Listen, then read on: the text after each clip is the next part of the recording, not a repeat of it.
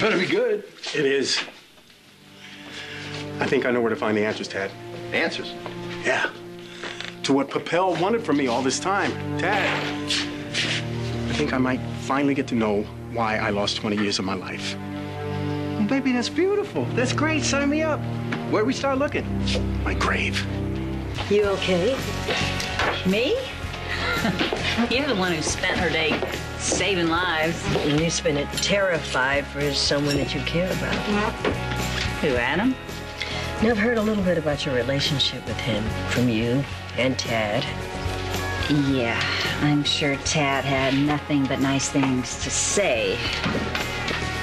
Not that I, not that I blame him. I mean, he's entitled to every ounce of hatred he has for that man, considering what he did to Jenny. I'm sure Tad hates Adam for what he's done to you also.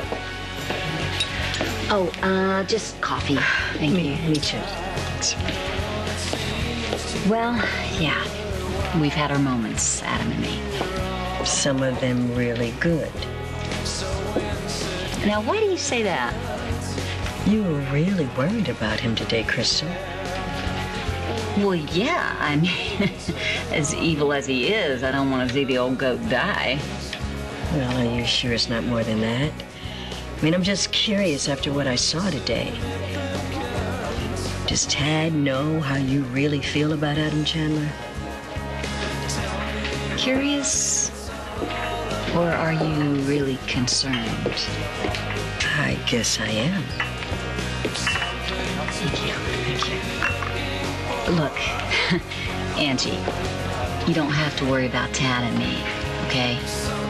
It's taken us a while to get where we are, but we we fully understand one another, especially on the topic of Adam Chandler. So Tad knows. Look, I mean, don't get me wrong. There is a part of him that would love to see Adam Chandler take the shortcut to hell, but he gets where I'm coming from. And where is that? I mean, I mean, what kind of pull are we talking here? The kind of pull that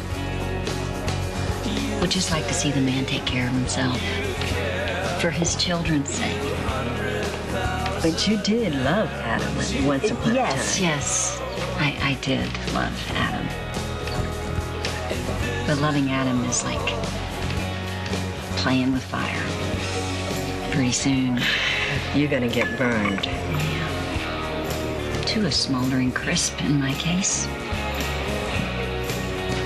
Angie, you do not have to worry about Tad, okay? I know what a good thing I have. Well, I'm glad to hear that. You know, when I came home and found that he was some, with someone like you, it just made me so happy. He's an amazing man, Tad Martin. And he's just been through so much.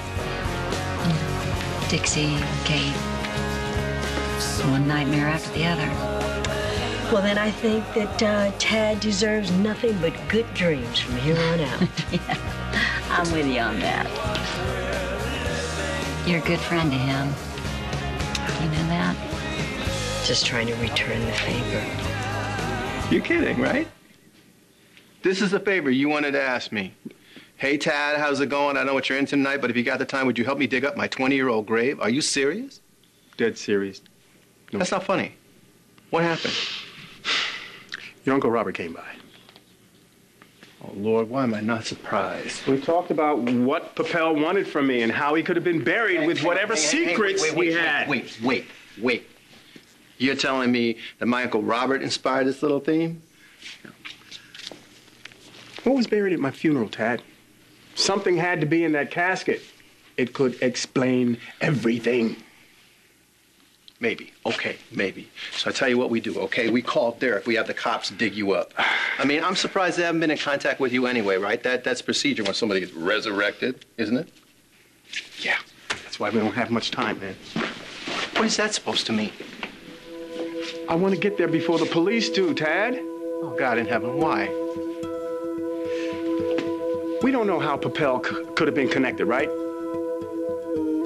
Right? Right, right, okay, right. So what if he was connected with somebody on the force? And they got out to the grave and dug up the casket before we got there and were able to cover up whatever was in the casket, Tad. Sweetheart, you are really reaching. You know that, right?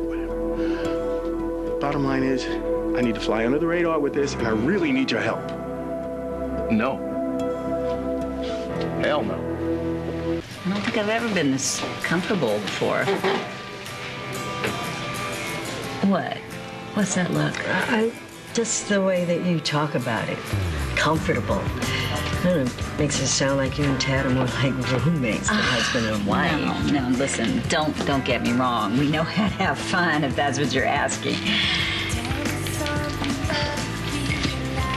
I am proud to be Tad's wife. I adore him, okay? We may not have the love story that you and Jesse have, but we we have something. Well, then here's just something. So, uh, now that I've uh, brought him up, how is Jesse? Uh, he's, he's doing great. Thanks. He's calmed down, settled in, everything's back to normal. Oh, whatever that is. I mean, he, he, he is starting to let go of what happened to him little by little. Too bad he just can't erase it all in one fell swoop. Oh, don't I wish. But at least he's agreed to stop digging for more trouble.